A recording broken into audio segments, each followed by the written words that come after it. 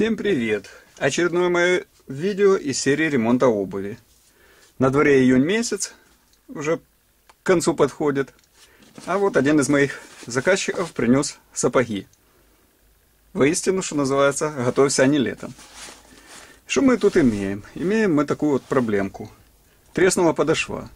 Причем на обоих сапогах, на одном немного, а на втором насквозь. Так что трещина вышла на боковую линию. Что я в этой ситуации буду делать? Ну, первым делом я сниму весь протектор. Так как он мне будет мешать, клеить профилактику и ремонтировать подошву. Вот на одном сапоге я это уже сделал. Я снял протектор и выбрал в подошве такую полукруглую канавку. Вот. Вот этот радиус. Радиус довольно большой. Выбрал я до самой несущей стельки. Здесь все равно была трещина, причем трещина начиналась вот от этого края и вышла полностью на боковую поверхность, переломался даже рант. Вот, хорошо видно. Что я буду делать? Подошвы делаются из разных материалов, в том числе из кожвалона. Кожвалон – это волокнистая резина.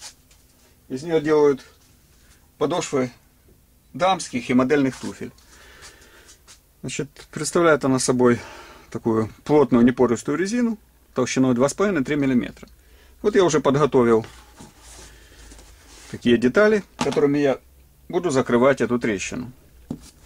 Сейчас эта деталь уже намазана клеем и готова к тому, чтобы ее приклеить. Так, первый сапог уже заклеен и зачищен. И выглядит это вот таким образом. Серый цвет это у нас кожвалон, а черный это родная подошва. Теперь я буду его намазывать и клеить профилактику. Клей для резиновых, для кожвалоновых подошв я использую найритовый. Хоть он и менее прочен, чем дисмокол, но с резиной склеиваемость у найритового клея намного лучше. И работать с ним довольно удобно. Он не так быстро высыхает. И мне с ним привычнее работать.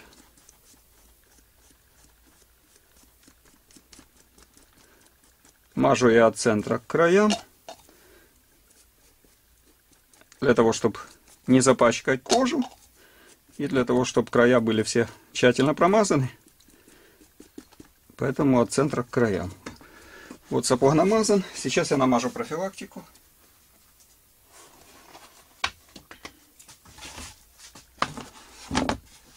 И оставлю на 20 минут сушиться.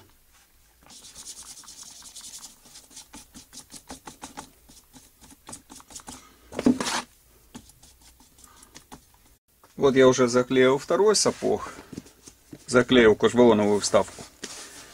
Теперь мне ее нужно обточить. Но прежде чем обтачивать, я срежу часть материала, чтобы было меньше точить. Срежу сначала по краям.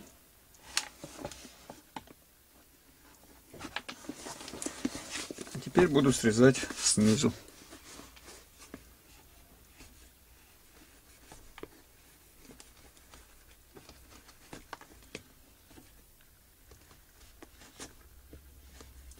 Тут главное аккуратно срезать, чтобы не оторвать край детали, которая еще намертво не схватилась.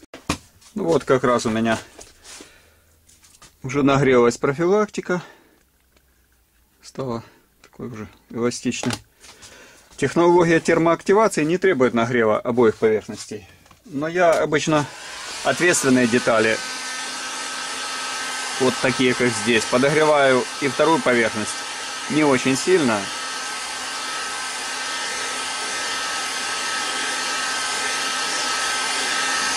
так, чтобы клей чуть-чуть начал белеть.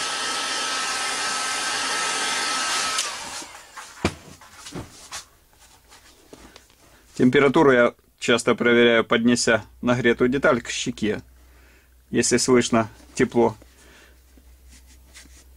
На щеке, значит, деталь нагрета до нормального состояние, до нормальной температуры. И вот теперь я прижимаю профилактику со всех сторон, пока она горячая. Буду ее обрезать и обтачивать. Вот последняя профилактика уже приклеена. Сейчас я ее буду обрезать. Она еще теплая. И обрезаю я ее вот таким вот прямым ножом.